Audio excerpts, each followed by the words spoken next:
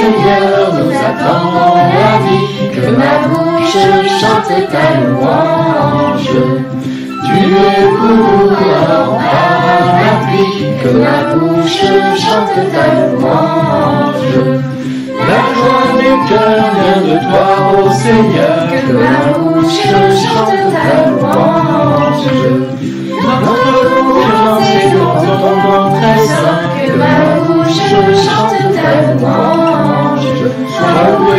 Seigneur, pour ta grandeur, sois pour tous tes bienfaits. Gloire toi, Seigneur, tu es vainqueur, ton amour inonde nos cœurs. Que ma bouche chante ta louange.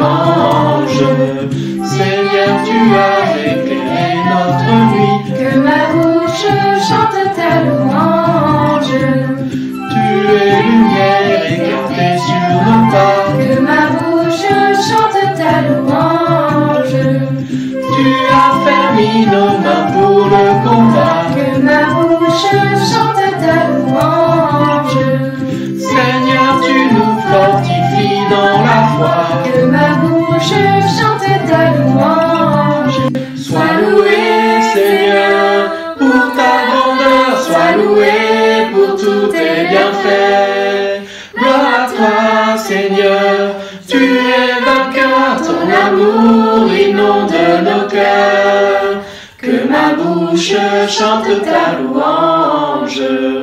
Tu viens sauver tes enfants égarés.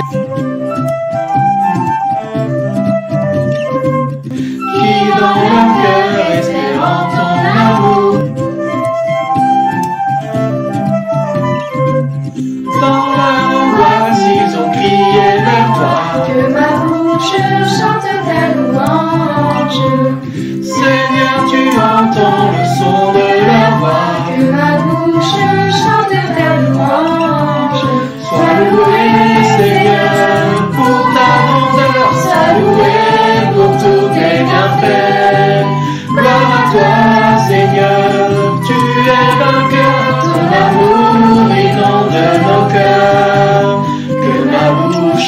chante ta louange.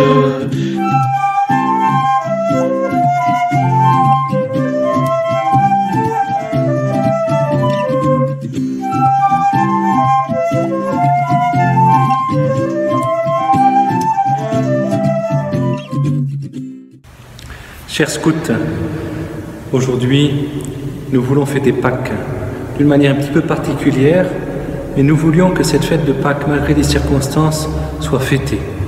Que vous soyez croyants ou non, nous voulons ensemble fêter ce jour et demander à Dieu, pour nos chrétiens, que sa vie, sa bonté, sa beauté, sa vérité nous guide particulièrement dans ces moments et parce que le jour de Pâques, nous fêtons la victoire de Dieu. Alors, dès maintenant, laissons-nous éclairer de cette espérance. Pour ce début de célébration, je commence par faire le signe des chrétiens, au nom du Père, du Fils et du Saint-Esprit. Amen. Le Seigneur soit avec vous. Et je donne la parole à Pierre Tonglet, le responsable du territoire, qui va nous dire quelques mots pour commencer cette célébration. Bonjour à tous tous, scouts et non-scouts. Le territoire Tarn-Kerseroer est heureux de vous accueillir en ce jour pour participer à la messe de Pâques dans des circonstances un peu particulières. La crise sanitaire que nous traversons actuellement n'a pas arrêté nos activités scouts. Vos chefs, cheftaines, équipiers et responsables de groupe, ainsi que l'équipe pédagogique du territoire, vous proposent de vivre du scoutisme autrement, et je les en remercie. Certains ont décidé de se rendre utiles en répondant à l'appel de la réserve civique ou à des initiatives locales. Cet appel, s'adresse uniquement aux personnes majeures, toute personne mineure pouvant se rendre utile autrement. N'oubliez pas de respecter la charte d'engagement du bénévolat publiée par l'échelon national qui vous invite à être citoyen, actif, utile, heureux de vous engager et artisan de paix dans toutes les actions que vous pouvez mener dans vos communautés locales. Respectez les gestes barrières et les règles de confinement afin de vous protéger et de protéger vos proches. Ne vous mettez surtout pas en danger. L'équipe territoriale TQR a souhaité garder le contact avec les groupes et organise régulièrement des réunions en visio ou audioconférence. En mon nom et au nom de toute l'équipe territoriale et d'Hélène Garit, co-déléguée territoriale en particulier, je vous remercie d'avoir répondu à notre initiative depuis l'intérieur et aussi l'extérieur du mouvement scout pour vivre ce moment de partage. Je remercie tous ceux grâce à qui cette messe a pu être organisée, les jeunes, les chefs cheftaines et les adultes bénévoles des différents groupes et du territoire, et surtout Marie-Pascale, responsable Cléophas et Louis, aumônier territorial, qui ont eu à cœur de préparer cette cérémonie. Bon confinement, prenez soin de vous et de vos proches, à très bientôt. Le début d'une messe, on commence par se faire beau. On commence à demander à Dieu qu'il rende nos cœurs purs, vrais, droits, justes, entiers. Et pour cela, nous commençons par lui demander pardon, à nous demander pardon. Nous le faisons avec ce chant.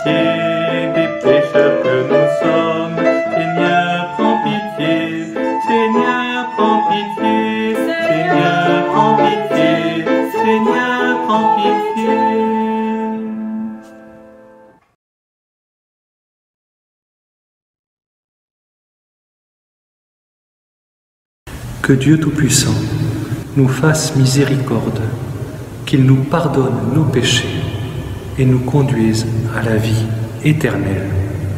Amen. Dans cette joie d'avoir le Dieu bon qui habite notre cœur, qui vient d'être bonifié, nous chantons la gloire de Dieu.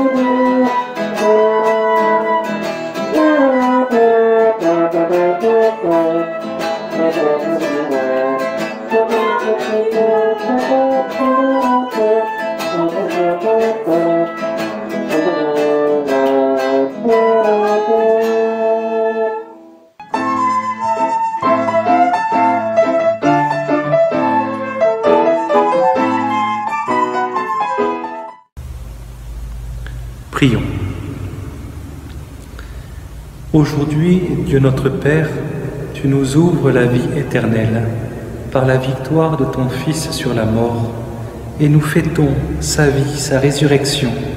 Que ton Esprit fasse de nous des hommes nouveaux, pour que nous ressuscitions avec le Christ dans la lumière de la vie, maintenant et pour les siècles des siècles. Amen. Nous écoutons la première lecture. Des Actes des Apôtres. En ces jours-là, quand Pierre arriva à Césarée, chez un centurion de l'armée romaine, il prit la parole et dit Vous savez ce qui s'est passé à travers tout le pays des Juifs, depuis les commencements en Galilée, après le baptême proclamé par Jean. Jésus de Nazareth, Dieu lui a donné l'onction d'Esprit Saint et de puissance. Là où il passait, il faisait le bien et guérissait tous ceux qui étaient sous le pouvoir du diable, car Dieu était avec lui.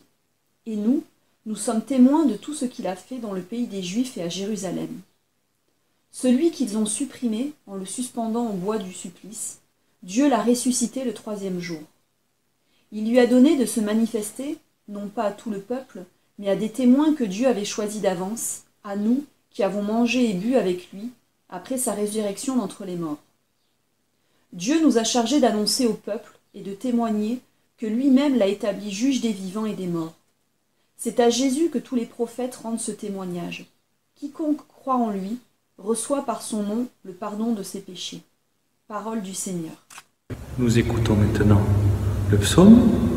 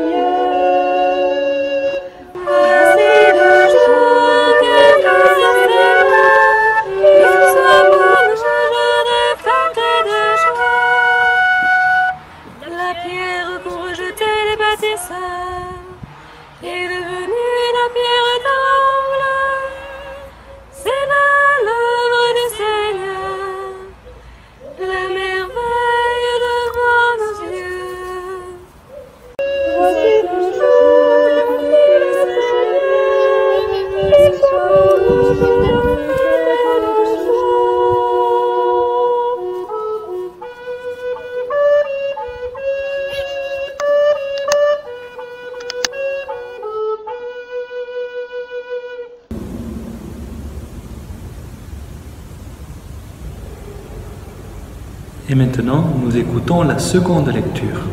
qui est lu par Delphine. Lecture de la première lettre de Saint Paul apôtre aux Corinthiens. Frères, ne savez-vous pas qu'un peu de levain suffit pour que fermente toute la pâte? Purifiez-vous donc des vieux ferments, et vous serez une pâte nouvelle, vous qui êtes le pain de la Pâque, celui qui n'a pas fermenté, car notre agneau pascal a été immolé, c'est le Christ. Ainsi, célébrons la fête, non pas avec de vieux ferments, non pas avec ceux de la perversité et du vice, mais avec du pain non fermenté, celui de la droiture et de la vérité. Parole du Seigneur. Nous chantons maintenant pour acclamer l'Évangile.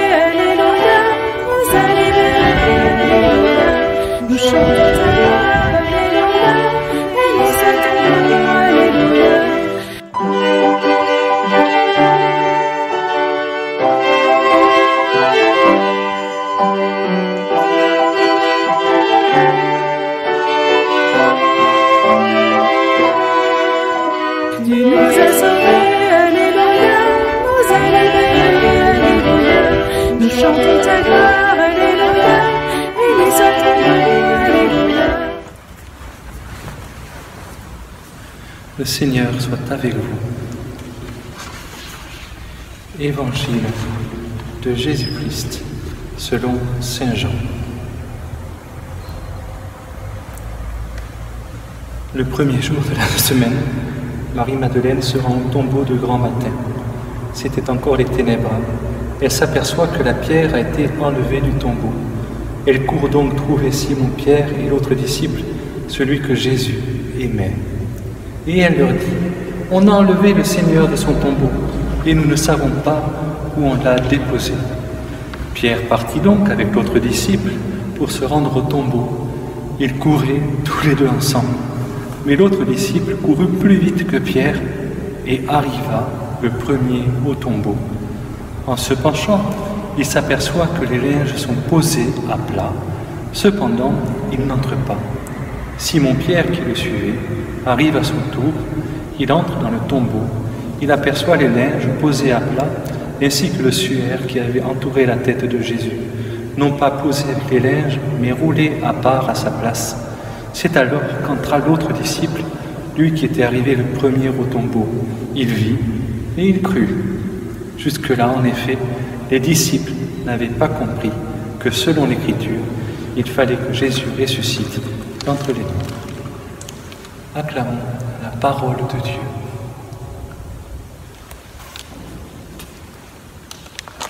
Et je donne la parole à Raphaël. Merci Raphaël. Trois personnages, Marie-Madeleine, Pierre et Jean.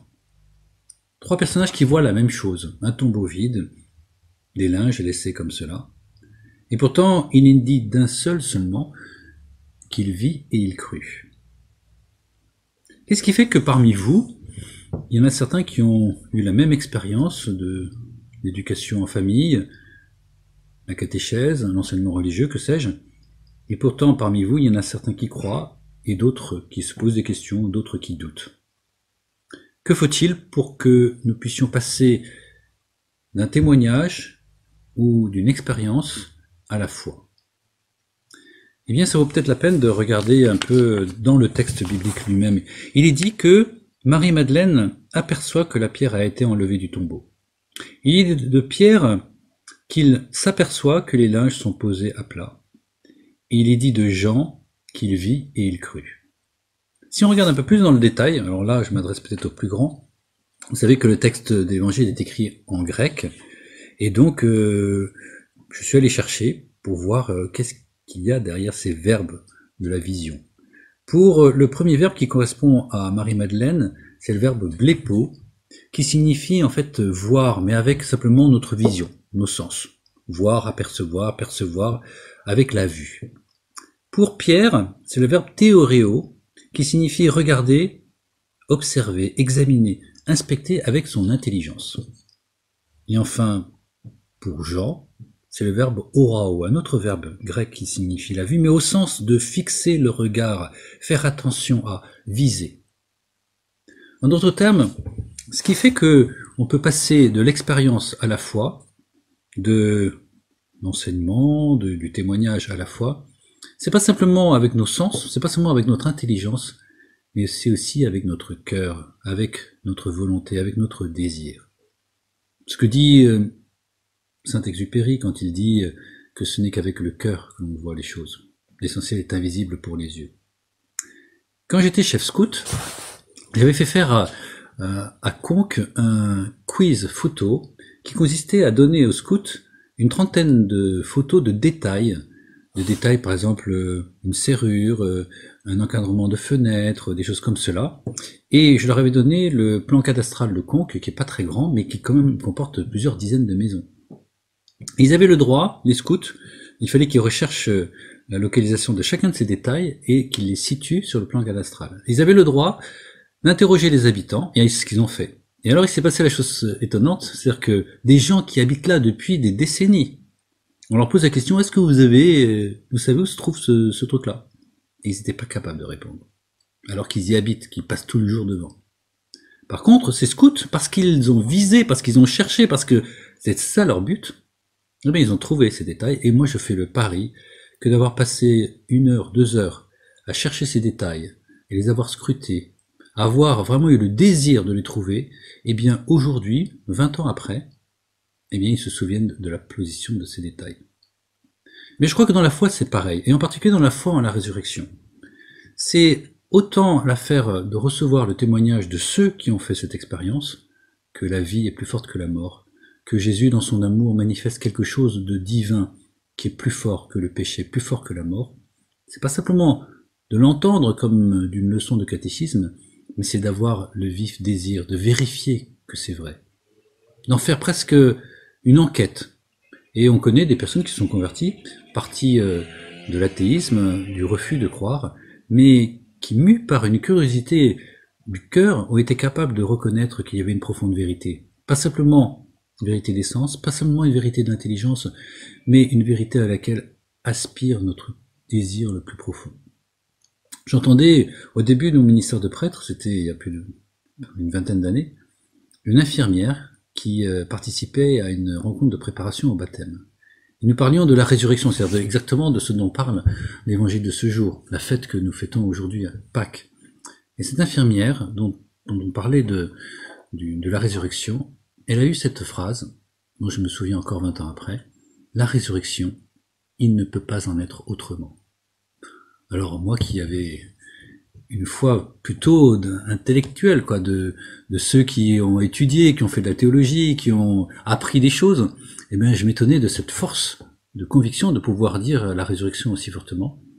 Et elle m'avait confié que elle avait trois enfants, en fait elle en a eu quatre, elle a perdu un de ses enfants en mort subite du nourrisson. Et elle disait qu'il n'est pas possible que cet enfant puisse disparaître dans le néant, se soit évanoui. Il n'est pas possible que l'amour dont cet enfant a été entouré, cet amour qui a été échangé entre parents et enfants, puisse disparaître comme du rien. C'est une nécessité que cet enfant soit vivant et que le retrouve un jour. Eh bien, que vous puissiez, quel que soit votre âge, quelle que soit votre expérience de la vie, avoir ce désir, ce désir de vivre, ce désir d'aimer, ce désir que ceux qui vous sont chers puissent non pas simplement exister comme des personnes avec qui vous êtes content de, vivre aujourd'hui, mais des personnes dont vous vouliez qu'ils existent pour toujours, que vous puissiez être liés à eux au-delà des limites de la mort. C'est cela que nous fêtons à Pâques, et c'est cela la bonne nouvelle que Jésus a payé de sa propre vie pour nous l'annoncer. C'est cela qu'il réalise dans sa résurrection, qui anticipe notre propre résurrection. Amen. Maintenant, nous pouvons proclamer notre foi. Croyez-vous en Dieu le Père Tout-Puissant, Créateur du ciel et de la terre, croyez-vous en Jésus-Christ, son Fils unique, notre Seigneur, qui a été conçu du Saint-Esprit, est né de la Vierge Marie, a souffert sous Ponce Pilate, a été crucifié, est mort et a été enseveli, est descendu aux enfers. Le troisième jour est ressuscité des morts, est monté aux cieux, est assis à la droite de Dieu le Père Tout-Puissant, d'où il viendra juger les vivants et les morts. Croyez-vous en l'Esprit Saint, à la Sainte Église catholique, à la communion des saints, à la rémission des péchés, à la résurrection de la chair, à la vie éternelle Dans cette jo- joie que Dieu croit en nous et qui nous appelle à croire en lui, nous lui confions nos intentions.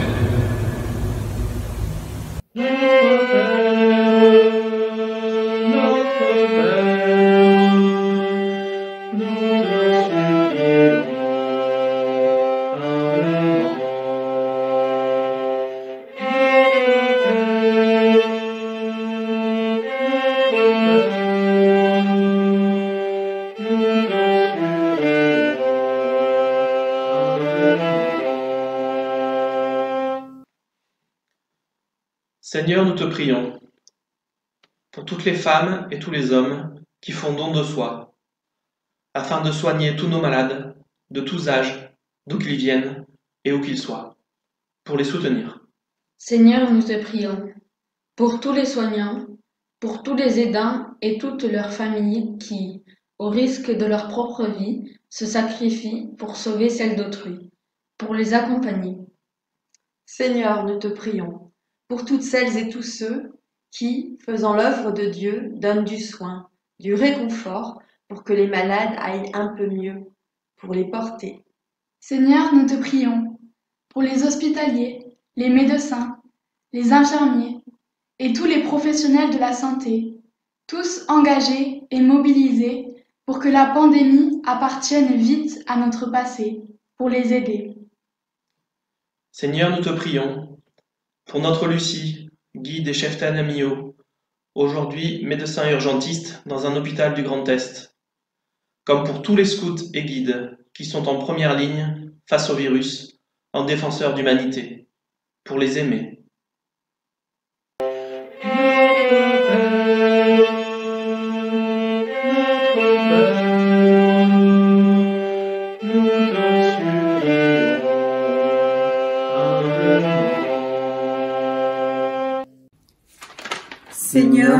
Te prions pour les milliers d'enfants, de jeunes et d'adultes qui auraient dû recevoir le sacrement du baptême en cette nuit de Pâques et qui voient ce grand moment être repoussé à cause de la crise actuelle. Nous te les confions. Nous te prions également pour les prêtres qui sont contraints de célébrer ces fêtes pascales, sommet de l'année liturgique, sans fidèles, dans des églises vides. Nous te les confions. Donne à tous les baptisés suffisamment de foi et d'espérance pour surmonter cette épreuve difficile. Nous te Nous te supplions, supplions, Seigneur.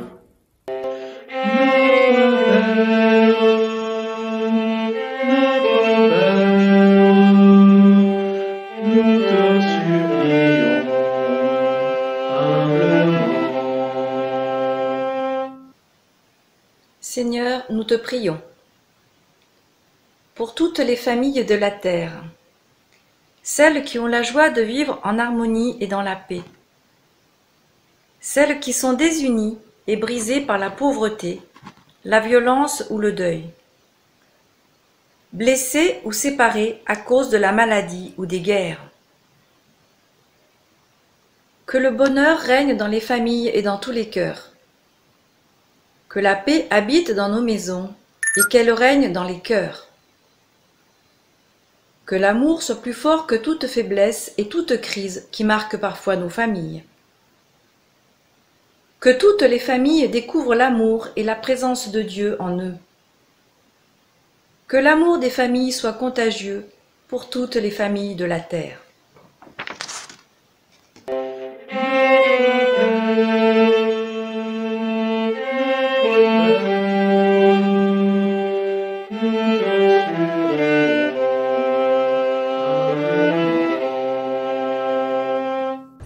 Seigneur, nous te prions pour les malades, qu'ils soient victimes de la pandémie ou de toute autre souffrance, tant physique que psychiatrique. Qu'ils reçoivent au quotidien le réconfort d'un proche ou d'un soignant, qu'ils bénéficient de tous les soins adaptés au soulagement de leur douleur. Nous te les confions.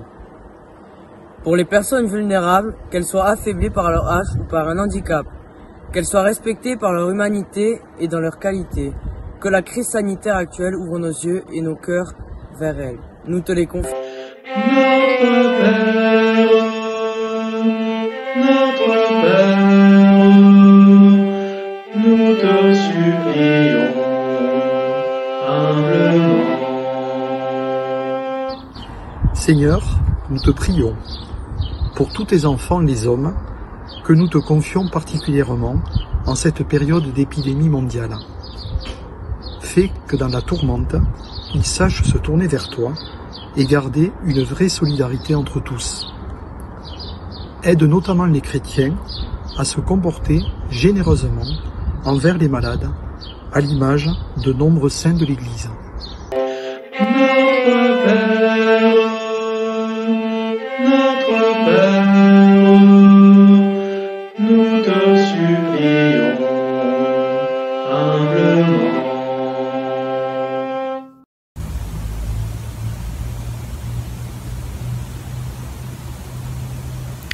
Seigneur, tu connais tout ce que notre cœur désire, tout ce que notre monde a besoin. Nous voulons te confier les plus souffrants, quel que soit leur âge, quel que soit leur pays, qu'ils soient scouts ou non. Nous voulons te prier pour tous, toi qui es le Dieu bon, vrai, qui nous veut du bien, maintenant et pour le siècle des siècles. Amen. Nous allons maintenant présenter ce pain et ce vin.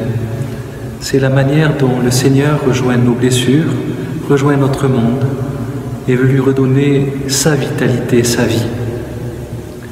Alors nous pouvons lui présenter tout ce que nous avons dans le cœur pendant, au travers de son corps et de son sang qui vont être rendus présents. Tu es béni, Dieu, toi qui nous donnes ce pain, fruit de la terre et du travail des hommes. Nous te le présentons, il deviendra le pain. Béni soit Dieu, maintenant et toujours. Comme cette eau se mêle au vin pour le sacrement de l'Alliance, puissions-nous être unis à la divinité de celui qui a pris l'humanité. Tu es béni, Dieu de l'univers, toi qui nous donnes ce vin. Fruit de la vie et du travail des hommes, nous te le présentons, il deviendra le vin du royaume éternel.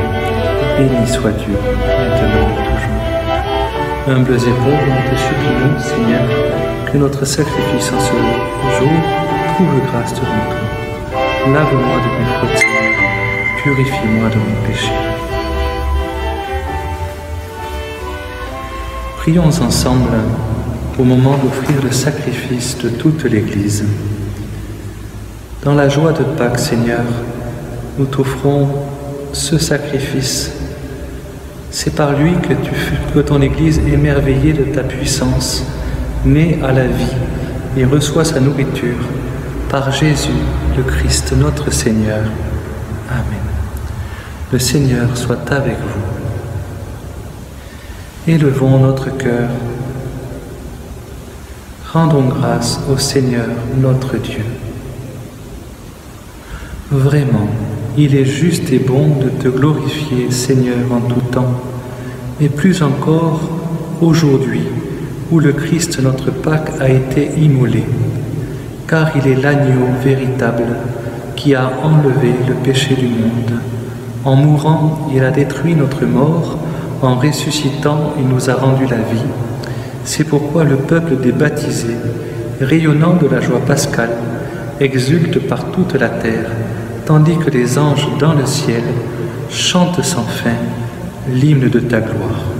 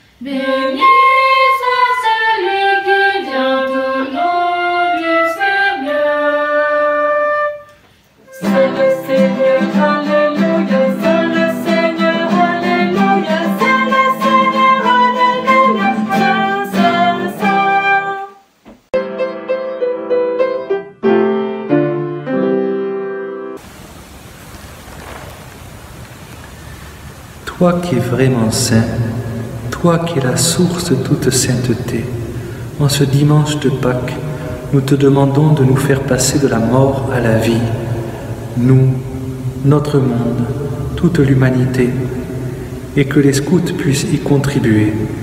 Sanctifie ces offrandes en répandant sur elles ton esprit, qu'elles deviennent pour nous le corps et le sang de Jésus, le Christ notre Seigneur.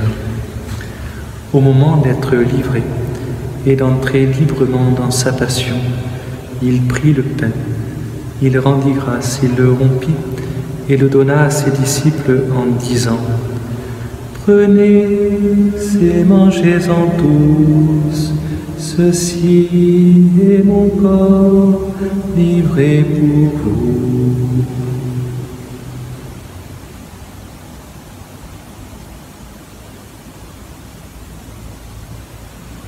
Et nous pouvons nous incliner pour accueillir Jésus.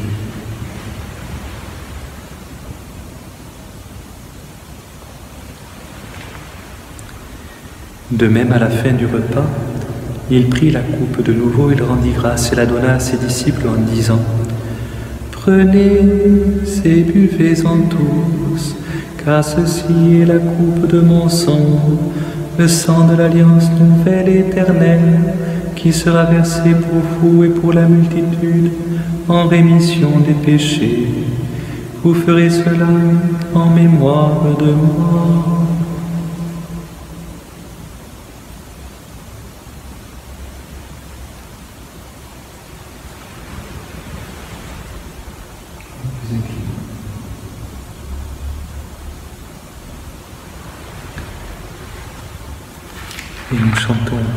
Enemies.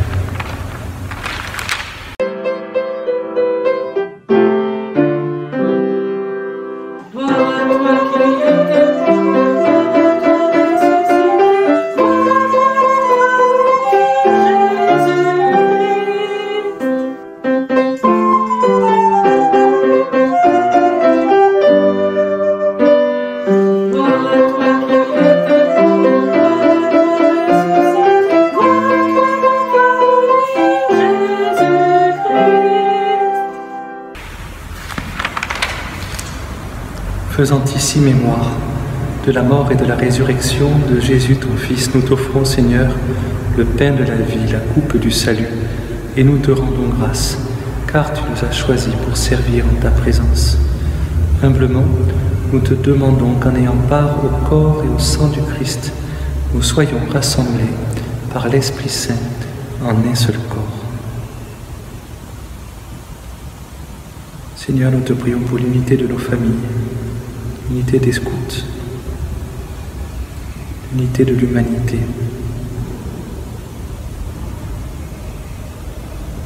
Souviens-toi, Seigneur, de ton Église répandue à travers le monde. Fais-la grandir dans ta charité avec le pape François, notre évêque Jean, tous ceux qui ont la charge de ton peuple.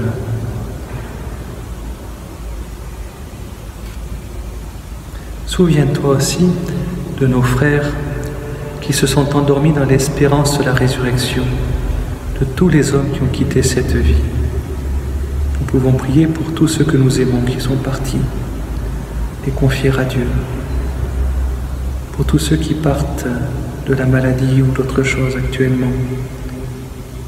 Que le Seigneur les accueille, reçois-les dans ta lumière, auprès de toi. Sur nous tous, enfin, Seigneur, nous implorons ta bonté, sur notre monde, sur les scouts, sur nos familles, sur nous aussi. Permets qu'avec la Vierge Marie, la bienheureuse Mère de Dieu, avec les apôtres et les saints de tous les temps, qui ont vécu dans ton amitié, nous ayons part à la vie éternelle et que nous chantions ta louange par Jésus-Christ, ton Fils bien-aimé. Par lui, avec lui et en lui, à toi Dieu le Père Tout-Puissant, dans l'unité du Saint-Esprit, tout honneur et toute gloire pour les siècles des siècles. Amen. En nous donnant les mains du cœur, en Dieu, nous pouvons dire la prière des chrétiens. Notre Père, qui es aux cieux, que ton nom soit sanctifié, que ton règne vienne, que ta volonté soit faite sur la terre comme au ciel. Donne-nous aujourd'hui notre pain de ce jour. Pardonne-nous nos offenses, comme nous pardonnons aussi à ceux qui nous ont offensés, et ne nous laisse pas entrer en tentation, mais délivre-nous du mal. Délivre-nous de tout mal, Seigneur, donne la paix à notre temps. Par ta miséricorde, libère-nous du péché, ça veut dire du mal que nous faisons et de ses conséquences. Rassure-nous devant les épreuves, en cette vie où nous espérons le bonheur que tu promets et l'avènement de Jésus-Christ, notre Sauveur. Car c'est à toi, Seigneur, qu'appartiennent le règne, la puissance et la gloire pour les siècles des siècles. Amen. Seigneur Jésus, tu as dit à tes apôtres, je vous laisse la paix, je vous donne ma paix. Ne regarde pas nos péchés, mais la foi de ton Église, pour que ta volonté s'accomplisse. Donne-lui, donne-nous toujours cette paix. Conduis-la vers l'unité parfaite, toi qui règnes pour les siècles des siècles. Frères et sœurs, dans la charité du Christ, donnez-vous la paix et la joie de Pâques, la paix et la joie du Christ, la paix du Christ.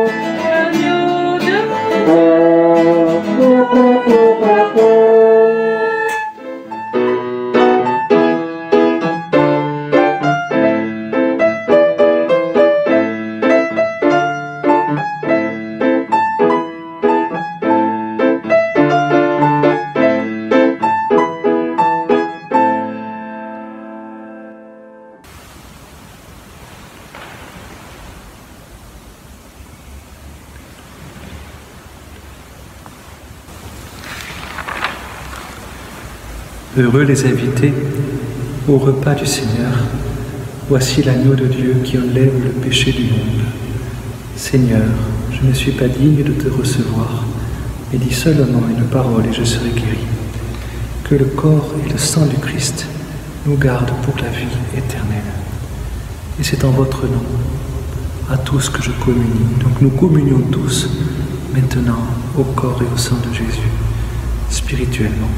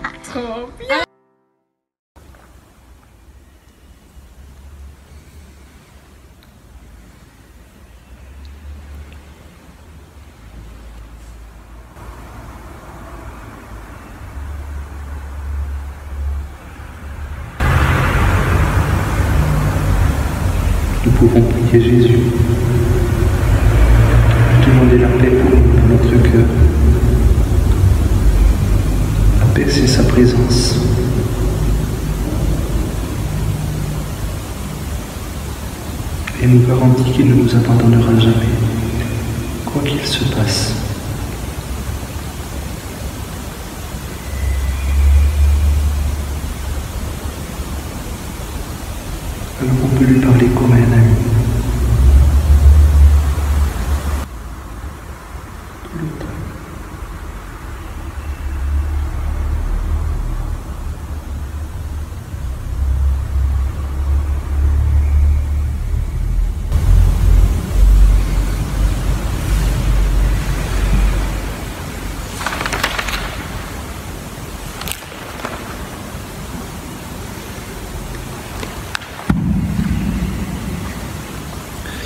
Dieu de toute bonté, Dieu vrai, Dieu beau, ne cesse pas de veiller sur ton Église, sur notre monde.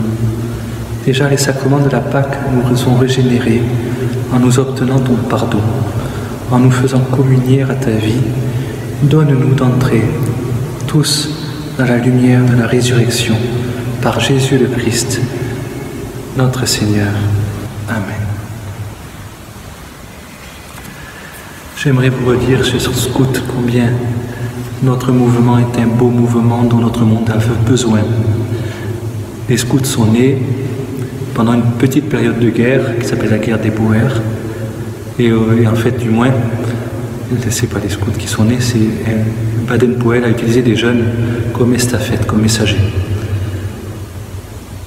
Après, Baden-Powell a créé les scouts comme mouvement éducatif à Londres pour envoyer les jeunes qui avaient peu de sens à leur vie sur une île pour leur apprendre à survivre. Et non seulement survivre sur une île, mais à vivre dans la vie. Être dans la nature, connaître les techniques de survie pour apprendre à vivre. Monde de paix.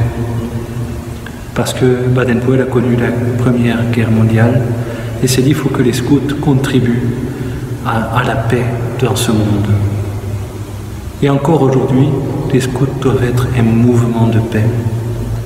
Peut-être qu'il y a encore une évolution auquel les scouts sont appelés. Les scouts sont peut-être appelés à être un mouvement qui nous apprenne à l'essentiel.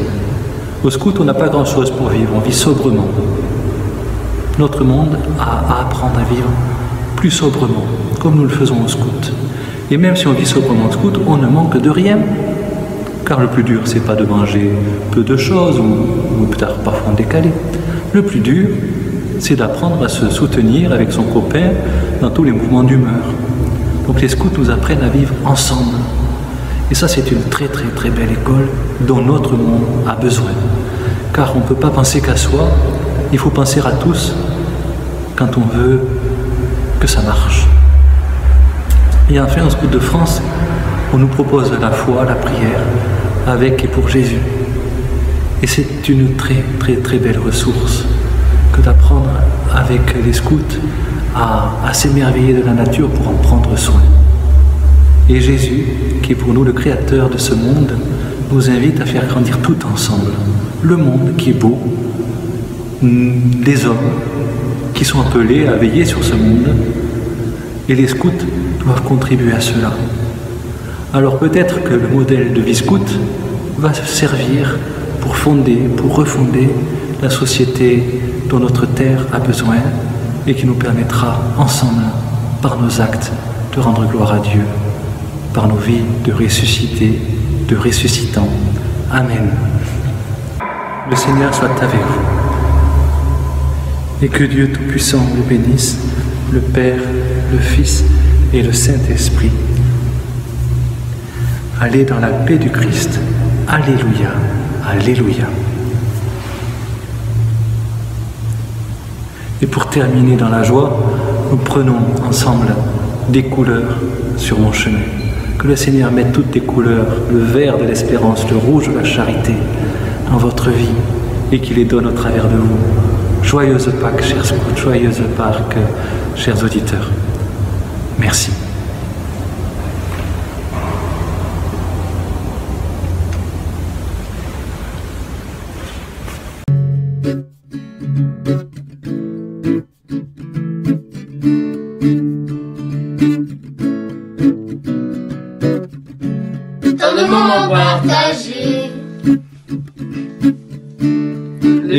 passer ensemble.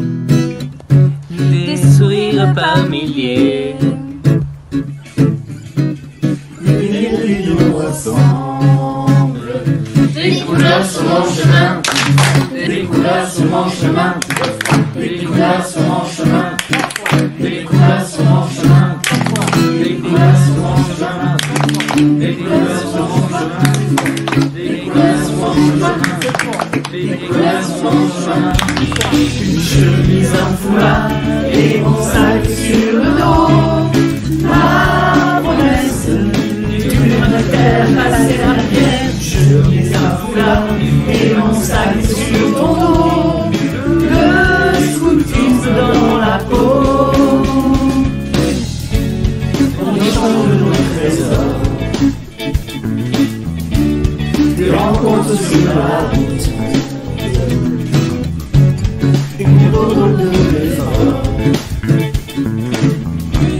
Les étoiles et le route. Des couleurs sur mon chemin. Des couleurs sur mon chemin. Des couleurs sur mon chemin. Des couleurs sur mon chemin. Des couleurs sur mon chemin. Des couleurs sur mon chemin. Des couleurs sur mon chemin.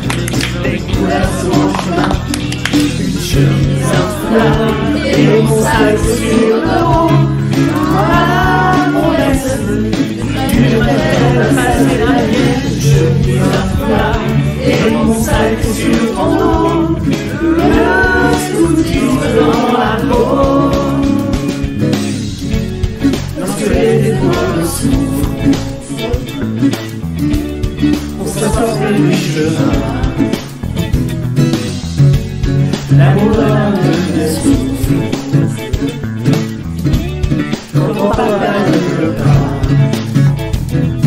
couleurs sont en chemin, des couleurs sont en chemin, des couleurs sont en chemin, des couleurs sont en chemin, des couleurs sont en chemin, les couleurs sont en chemin.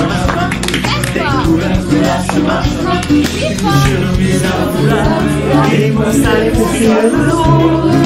Ma promesse, tu vas faire passer la tête. Je me un poulain, et mon sac est sur ton dos. le suis juste dans la peau. Et je suis dans les pensées. Une promesse de la vie.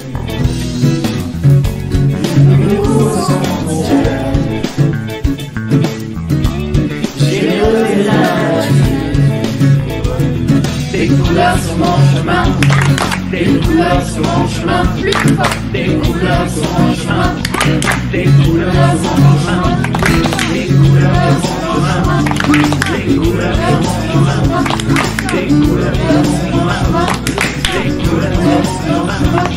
Une chemise, un foulard et mon sac sur le dos. Ma promesse d'une terre passée la mienne cela, les moisselles sur le Congo, le soutien dans la peau. Une chemise en foulard, les moisselles sur le dos, ma poèse, du laquelle passer la terre, une chemise en foulard, les moisselles